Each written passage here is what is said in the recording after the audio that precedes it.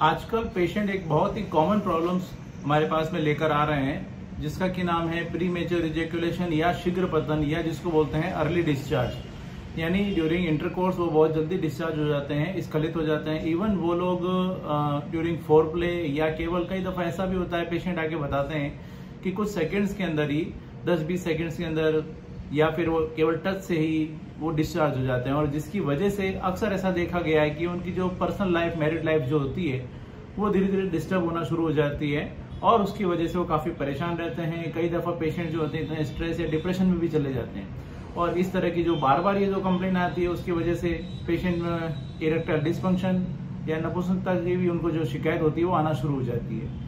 आज का वीडियो काफ़ी खास है। आज के इस वीडियो में मैं आपके साथ में शेयर करूँगा।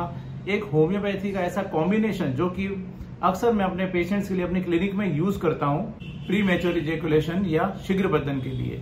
इस कॉम्बिनेशन में मैं तीन मेथड टिंचर्स हैं जो कि काम में लेता हूँ। आज की इस वीडियो में बताऊँगा यह कॉम्बिनेशन कौन सा है, इसको कैसे बनाना है, कैसे इसको लिया जाता है और कौन सी बातों का आपको ध्यान रखना चाहिए। मैं जोधपुर से doctor Kuldeep Jahangir homeopathy consultant एक बार फिर से आपका अपने यूट्यूब चैनल में स्वागत करता हूँ।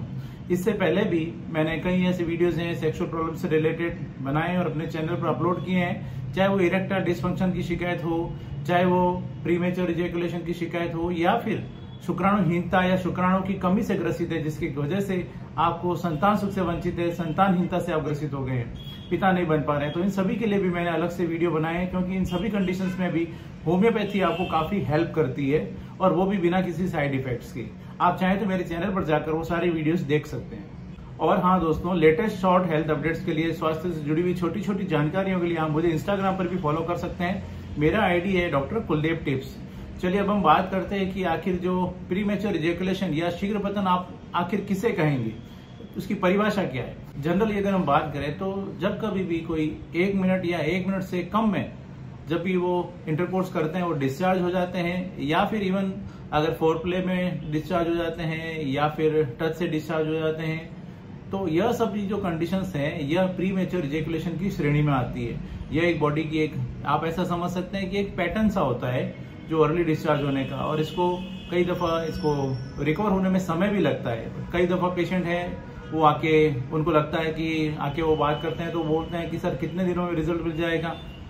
दस पंद्रह दिन में कुछ तो असर दिखेगा, कुछ फ़र्क पड़ेगा, लेकिन मैं उनको एक चीज़ कहना चाहूँगा, एक बात कहना चाहूँगा कि यह जो कंडीशन है, इसमें आपको काफ़ी पेशेंस रखना पड़ेगा।